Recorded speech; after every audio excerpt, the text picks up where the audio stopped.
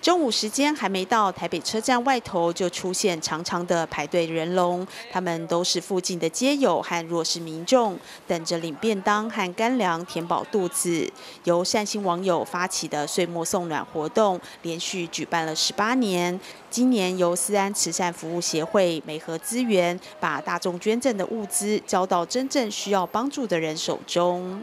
其实有些团体他们会有自己。自自己会自发性的做便当，那也有一些民众，他可能是为呃是自己的心愿或者宗教信仰关系，他会就是购买购购买便当的方式，希望跟这边结缘。尤其是有一些宗教团体，他可能会捐纯素的便当。我有看过什么水煎包啊、葱抓饼啊、挂包啊，这个也有听过，也有看过。然后刚刚有听到说，也有说像那个麻油鸡面啊，也会有人就是煮好麻油鸡，素的麻油鸡，然后让让让让大哥们可以。大哥大姐们可以喝到一些暖暖的，就是面线跟喝汤这样子。其实不只是食物啦，物资能够给到需要的时刻，给到需要的对象，那才是重要，真正重要，而不是说，我觉我觉得今天天气好冷，它好像比较冷，我就拿一直一直拿外套或被棉棉棉被过来。但是可能你给之前已经有人给过他三次了。呃，目前现在没喝到现在，大概一天都至少可以有一餐，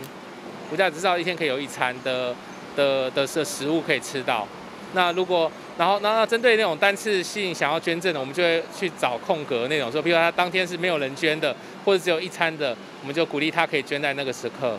协助发放物资的志工郭小姐是第二次参与活动，特别抽空请假来到现场帮忙，自己也带一些泡面，希望能够尽一点心力。呃，其实这是今年是我第二次参加这个活动。那我平常都是从网络上呃去得知这个，或者是朋友分享去得知这种呃呃那个那个街友这种活动。那我自己本身是护理师，那呃其实好像照顾病人是一种天职嘛。那我也觉得这种活动其实是非常有意义的。所以呃，既然就是可以利用我小小的力量去帮助不同的对象，其实我本身也是非常开心的。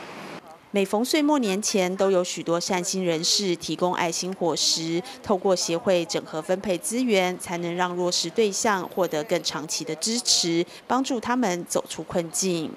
呃，大家都知道无家者大部分的情况都是有一餐没一餐的情况，可是，在就是接越接近过年的时候啊，相信社会大众都会比平常更有爱心，他会愿意在这个时候，在他能力所及付出一些些，比如说不管是捐物资啊，或者是捐餐食。那可是针对餐食这件事情呢，它呃我们都知道食物是有时效性的嘛。那一个人一天能够吃的量其实是也有限的，所以呃透透过透，所以最早一些民众民众会来台北车站这边，他是秉着善心在发放食物，可是食物就会有可能是他其实这一位无家子他可能已经拿到过多的时候了，可是，在天寒地冻之外的日子，他可能又会经历很长的时间是属于什么没有饭吃的状况。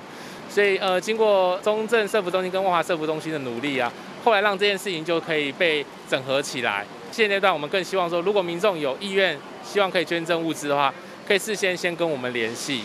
然后让食物可以捐到就是他们需要的时候，需要的时候。因为，呃，过年前，像像目前来说，以以过年前，其实我们都已经有开始在玩具，就是认为说到目前的他们的餐食是已经足够量了。足够量。如果您是是希望能够愿愿意愿意帮助，就是这些无价者的呃食物的话，我们希望可以鼓励到年后，然后再就是我们会呃希望是不只是一次性的，希望有机会可以是长期的捐赠。